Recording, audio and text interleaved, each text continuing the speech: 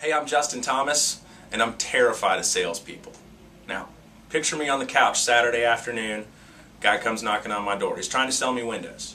Maybe I need the windows, maybe I don't. The Point is, is that I'm not going to answer the door. And there's two reasons for this. Either A, he's interrupting my Saturday afternoon, or B, he's going to pressure me into buying a whole bunch of stuff that I don't want. Now, translate that over into the real estate market. Okay, each specific buyer has a specific house that they're looking for. All I'm going to do is help you to find that house. And when we do find that house, I'm going to help that transaction progress smoothly.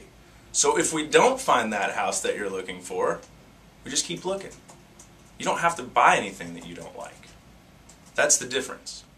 Also, don't forget that it is free there's no out-of-pocket expense involved in having someone there to look out for your best interest and somebody to sift through all the homes that are for sale in order to find your perfect home.